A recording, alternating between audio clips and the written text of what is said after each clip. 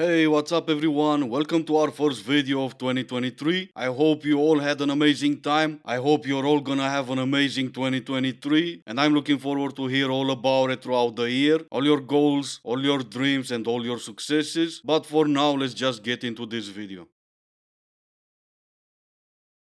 If you were betrayed in 2022, this message is for you. I was just thinking about the fact that I never got an apology, and I'm sure that you can relate. But as I'm sitting here on the beach on this beautiful Christmas, a thought came to me. What would an apology give to me that I can't give to myself? I know what happened. I know what my truth is. And an apology from someone whose words mean nothing is not something that I need yeah, except while I'm lying on this beach on Christmas Day all by myself, let me post a video saying how I really don't need an apology. Who are you trying to convince, me or yourself? What would an apology bring you? Closure. Or the fake feeling that you were on the right and he was on the wrong. Maybe that's even the case, but I wonder if he's just as happy as you are for not apologizing to you. I swear I heard this somewhere and I need verification from the TikTok peeps. So I am the perpetually single woman. Like everybody knows this. My the girls I call on know it. My coworkers know it. Like it's a thing, right? So a few days ago, one of my girls was telling me, you know, the 12 grapes um, on the New Year's thing, like that's a thing that I've known of forever. But she was saying that if I eat the 12 grapes while sitting underneath a table, and simultaneously manifesting a husband, then the following year I will get a husband. Nobody can corroborate this. I have asked so many people, and everybody's like, no, I have no idea what you're talking about or if this is a thing. So, can somebody confirm this for me before I embarrass the shit out of myself in front of my animals and sit under the table popping grapes? Oh, if only your animals can speak. Those will be the stories I would love to hear. But let me get this right. You already asked a lot of people about it. They all said you're cuckoo. And now you're on TikTok hoping you're gonna find another cuckoo telling you, yeah, do that and it's gonna work. Why not go ahead and do it from the beginning? Get your animals into another room, close the door, and go ahead and get under the table. Telling us all what you're about to do, it's not gonna help you find a husband. Listen, some men are not romantic, and that's okay. For whoever they end up with, but not me, I actually want flowers. And I really don't care. So I have a dating rule. Maybe you agree with it, maybe you don't. If I have to ask for it, I don't want it. If I need to ask for you to make proper quality time with me, suddenly that time doesn't mean that much. If I have to ask you to get me flowers, I don't really want the flowers. And literally, this rule is why I broke up with my ex because I realized I had to keep begging him and asking him to make time for me and show up and care for me. If I asked, he would do those things, but I still felt like and it's because I shouldn't have to ask for you to want to care about me. Somehow I still don't care. And I'm pretty sure he doesn't care either. It's always about me, me, me, isn't it? If you had to keep asking for stuff, it probably means you never reciprocating whatever he was giving you. Quality time together means quality time for the both of you, not just for yourself. Quality time for him, it means you need to put in some effort, not just be there and expect stuff. Y'all wanna know what's upsetting me today? I don't like that men want their women to be untouchable. They don't want them to be passed around. They want them to respect themselves, right? But they could be passed around to the whole city. So you want me to be like the Virgin Mary, fresh out the womb, but you want to hunch like a dog. That ain't right. What's going on? Oh no, something is upsetting you today? Oh no, what are we ever going to do now? What's going on? Well, this is what's going on. Shut up, it is not. Yes, it is. No, it's not. Yes, it He blocked you because he knows there's consequences for your actions. And now you know. In reality, most men don't want to be passed around to the whole city. And even the ones that do, can't. In return, because it's easier for you to get passed around to the whole city, you can get at least half of the city to be passed around. And the consequences to those actions are that the men you want block you. Either you like it or not, it doesn't matter. It makes no difference. He still blocked you. If somebody wants to be in a relationship with you, you guys are going to be in a relationship in less than like two days. They're literally just going to be like, hey, we're together now. They might even move you in in like three weeks, and they might propose to you in literally less than two months.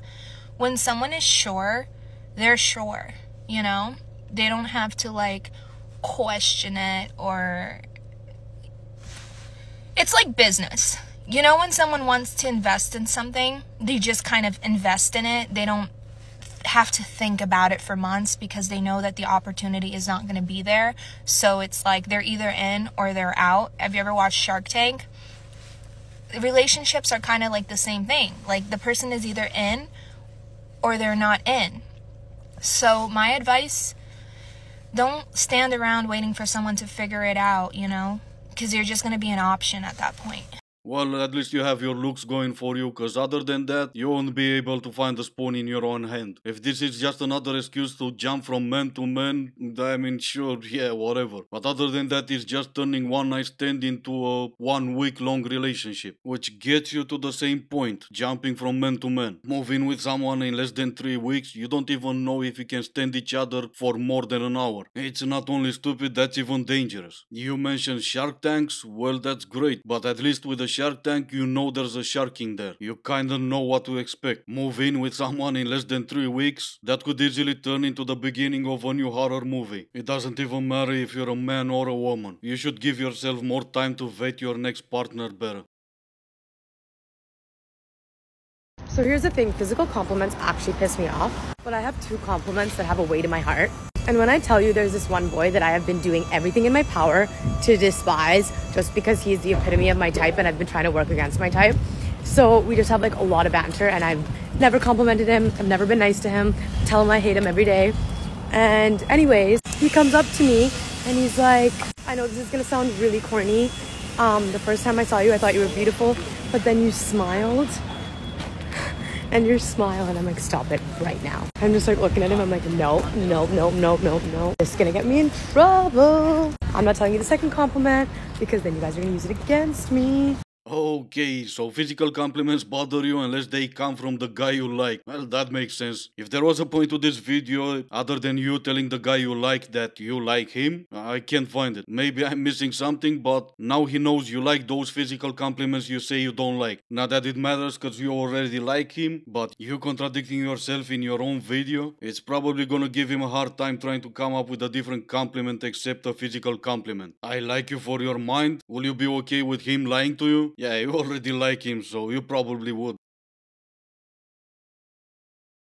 Okay, let's see now. I will absolutely walk all over you if you're a weak man. My energy is 100% masculine and my aggressive personality is not for the weak. Okay, fair enough. I'm not gonna lie, your personality looks pretty good from this angle right here. But then again, a lot of you have the same personality, so you're nothing special. A while back, everyone knew that taming the beast was the end game for every hunter, and every beast was letting herself tamed by the proper hunter. But now, with these masculine, aggressive personalities, the hunter is called insecure and controlling if he's trying to tame the beast. That's why all the beasts today are single, wondering where are all the good hunters while settling for the weak man. It's funny how you jump to calling me a misandrist for acknowledging that misogyny exists in the world. And the right corner is an echo chamber for men like y'all to gather and hate women. Very ironic for you to be saying that about me when this is the name to your alt account. Interesting how this all started because you decided to comment on a video of mine calling me a misogynist, and I respectfully asked you for proof of said misogyny. But the truth has a way of showing itself. That's tough. Telling her to bring proofs to her claim, telling her to hold accountability for her words and her actions. Come on, man. I've been watching your content for a while. You know better than that. You even said it yourself. That's the name of her old account. What do you expect from someone like that? He's a 10, but when you guys are watching Netflix together, he falls asleep within the first five minutes and then snores throughout the entire show. Like the whole time. He is obviously a 20. No, scratch that. He is a 200. But anyway, that brought us to the end of the video. As always, I do hope you enjoyed it. If you didn't, I still appreciate you for making it this far. Thank you all so much for watching. Stay safe and I will see you in the next one.